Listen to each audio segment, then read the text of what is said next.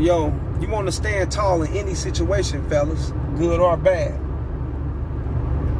You know, got a couple more videos to do, so um, a couple pre-records, these dolos. I like to get these dolos out the way right along with the Patreon and going live. I'm a busy man when it comes to these videos, and I got my personal life, so fellas got to bear with me on a lot of shit. But you know, all this work packed up, backed up, all in with, within my publishing. Shit, let's get it going, baby. Push this content right the fuck out, like a motherfucker. Which I already know what time it is. Video for education purposes only, fair use only. Like, share, and subscribe. Hit the notification bell. It's very important. Go join the Patreon, fellas. Go get some of that banned from YouTube shit that you cannot get on YouTube. Raw and uncut material. Five dollar tier. I ain't beating up your pockets. Go join the Patreon. Go to the description below my about section. Y'all know how to get at me. Everything's there. You dig? But um, let's get to it. I know a lot of you fellas, especially you young fellas, in your 20s, 30s, some in your 40s, you know, and you may not be where you want to be in life, or you may not have certain things going in life that you would desire to have going.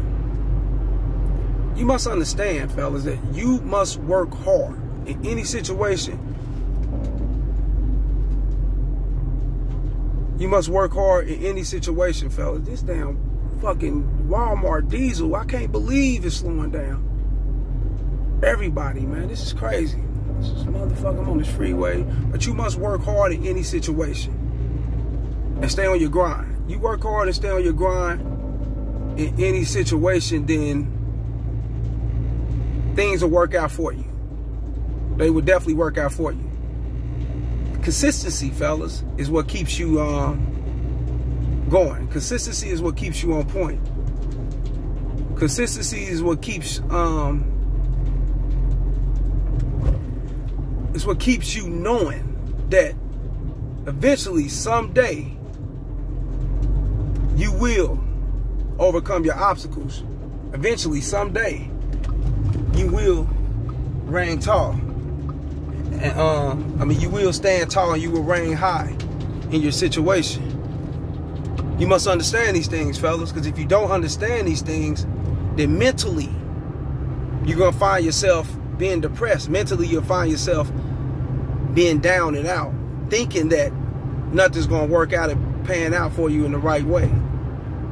Understand that everything will pan out for you in the right way if you um be consistent with your grind. Keep God first. I'm a strong believer in God, fellas. I'm I don't go to church, no. I ain't stepped foot in the church since 1996, 97, if I can remember. I was about 14, 15, shit. I was getting ready, I was ready to put hands on the deacon, beat his motherfucking ass, man. Uh, me and my partner. The motherfucker was trying to chin check us and shit.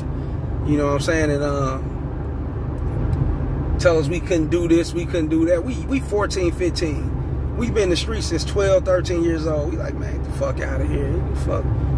We already got a couple years in the streets. We did fought grown men. We did drew down on motherfuckers. We get to the bag and everything. And, you know, going to church with my mom, I'm like, I'm gonna go ahead. She want me to go to church. She see my life is in shambles. I'm fucked up at a young age. So, you know, my mom's and my auntie on my father's side, my my daddy's uh, oldest sister. She get on the radio and shit on uh, Gospel 1590 out of Kansas City, Missouri, and uh, know the radio station. You know, on Sundays, pray about family members and things that's going on. This was back in the 90s when shit was really fucked up, before the camera days and social media and all that shit. 97, 96, 98ish. Now 98, I was in the Jew. I was in uh, the detention center. You ready? Yeah, 97, 96.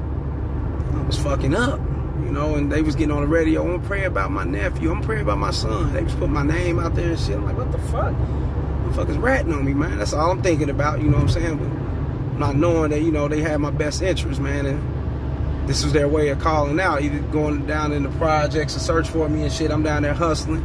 Fuck, we don't even stay down here no more. You back down in here hustling with, it's the hood, you know what I'm saying? So, the fuck, they down there, what the fuck are you doing? You know, parents trying to get you out the shit. You know, I had both my parents trying to stop me, man, but still, I you know, I didn't give a fuck. I was doing me. So that goes to show you right there, nigga, shit. It's not always the parents or your upbringing, it's who you are, too. You know, that's possible, because it was who I, you know, my mom's trying to stop me, you know. My father, you know, but hey, shit. I seen that fast money. I said I couldn't that shit. But yeah, man, you know, but uh like I was saying, man, uh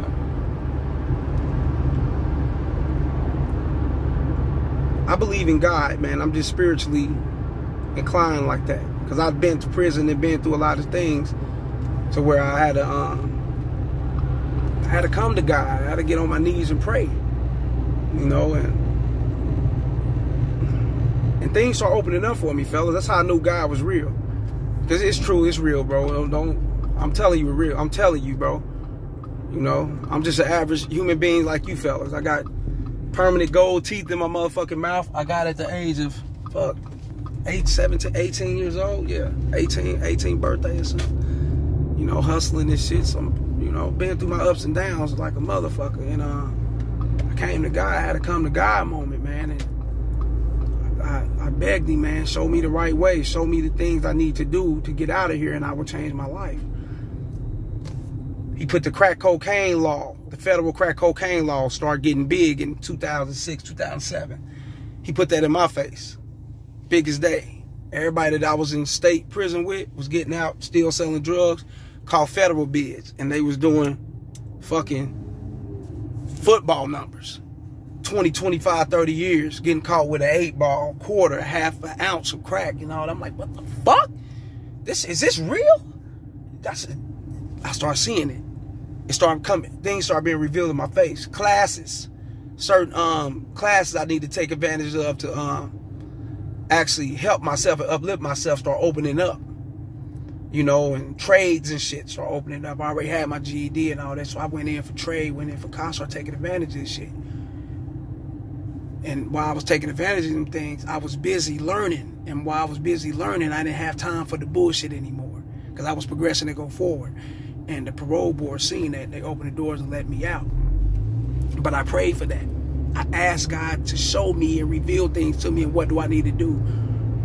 And that shit came. So I ain't, motherfucker, I'm strongly, I, I believe in God. I ain't dumb, bro.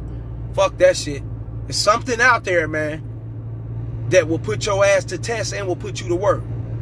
Something. I believe it's God. I'm calling God. Shit, that's why I was raised to call God, but it's God you know what I'm saying, or the universe, you know, came back.